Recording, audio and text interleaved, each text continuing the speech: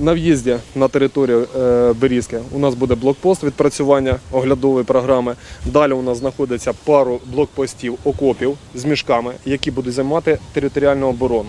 Денис Янушин розповідає, як облаштують військові тренувальні локації на території дачного кооперативу неподалік Олександрії. 36-річний військовий три роки захищав цілісність нашої країни в зоні АТО. Тож чому необхідно навчити молодих бійців, знає. На даний час у нас відбувається розчистка території, розміщення особового складу, підготовка інструменту по медичній роботі, по тактичній роботі, по саперній справі і відпрацювання, можливо, мінометних.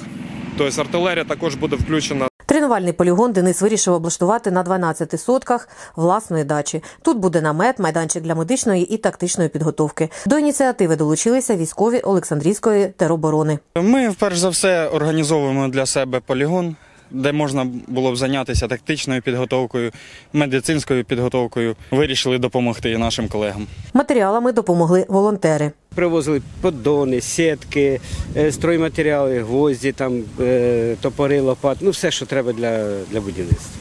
Для тренувань зі стрільби муляжі зброї Денис виготовляє сам за сертифікованими зразками.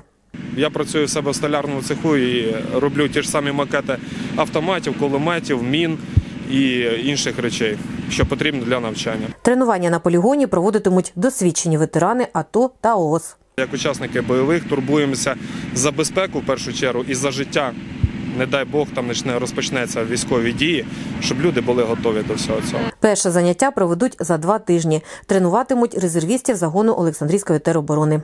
Євгенія Ніколаєва, Олександр Стрижак, телевізійні новини СІБІН.